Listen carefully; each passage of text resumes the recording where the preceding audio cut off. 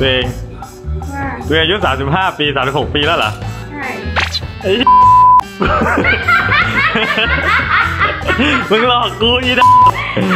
กูนึกว่ามึงอายุเท่ากูนึกว่ายี่สิบเก้ามึง กูไม่หลอกมึงแล้วกูจะไม่หลอกมึงเหรอ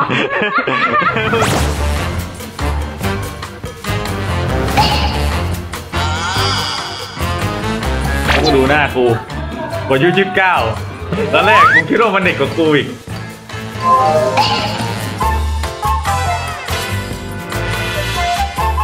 ผมโดนคนแก่หลอกทั้งขำทั้งเอ็นดูเมื่อหนุ่มรายหนึ่งถึงกับช็อกเพิ่งรู้อายุจริงแฟนสาวหลังเห็นบัตรประชาชน นึกว่าอายุเท่ากันมาตลอด เรื่องราวจะเป็นยังไงไปติดตามกันค่ะทุกคนครับ ผมเพิ่งรู้ว่าแฟนผมเนี่ย อายุ 36 ปีแล้ว เกิด 30 นะครับ คือผมเพิ่งรู้จริงๆเลยนะ เพิ่งรู้เพราะเห็นบัตรมาเลยเว้ย ตัวเองว่าตัวเองอายุ35ปี36ปีแล้วเหรอ ใช่จริงเหรอทำไมอะแกไอ้มึงหลอกกูอีดกูนึกว่ามึงอายุเท่ากูนึกว่ายี่สิบเก้าไม่ใช่คอยยี่สิบแปดไง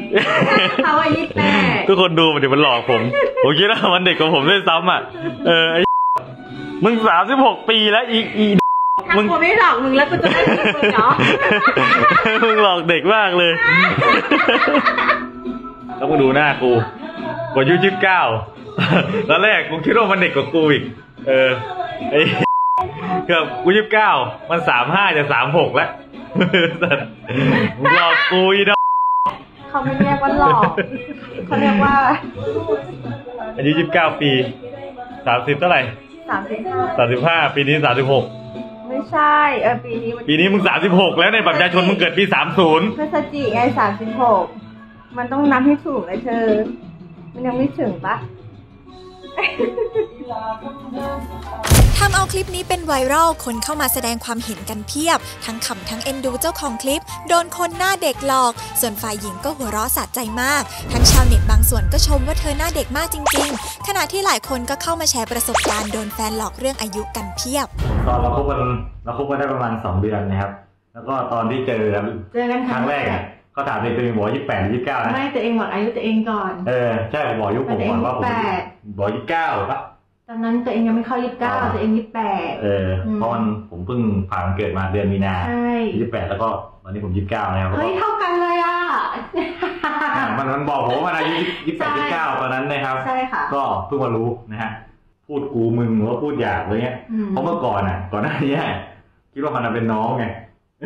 ที่เป็นน้องแล้วผมเป็นพี่เงี้ยผมก็จะทำตัวผู้ใหญ่หน่อยอะไรเงี้ยแล้วจะใช่จะจะสอน